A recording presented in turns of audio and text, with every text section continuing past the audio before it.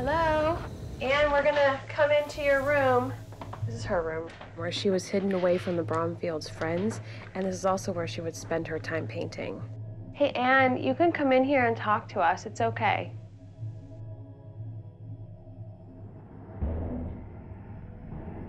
All right, Anne. Now, if you want to try these flashlights, there goes one. If that's you, Anne, can you turn on one of the other ones? That was the middle one you turned on. In order for this to work, they only can come on when I'm asking a question.